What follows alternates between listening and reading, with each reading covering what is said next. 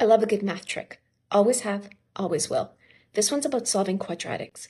You know that part where you're hunting for two numbers that multiply and add just right? Well, there's a faster way. Let me show you. Take x squared minus 14x minus 392 equals 0.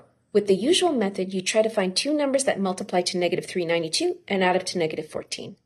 Now, good luck trying to do that in your head. But Dr. Po-Shen Loh, he found a better way. This time you start with the sum and not the product. In his method, you look for two numbers that add up to the negative of the b term. Here, that's the negative of negative 14, so positive 14. Let's try a few numbers. 13 and 1, 11 and 3, 9 and 5, 8 and 6. What do they have in common? That's right. They're all centered around 7, the average. One a bit bigger, one a bit smaller. So let's call those numbers 7 plus z and 7 minus z. Now these numbers also need to multiply to negative 392. So 7 plus z times 7 minus z equals negative 392. Now wait, before you expand, notice that this is a difference of squares. So you can actually jump straight to 49 minus z squared equals negative 392.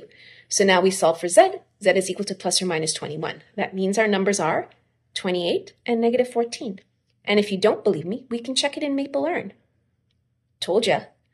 Bye bye guessing and hello, some average in symmetry.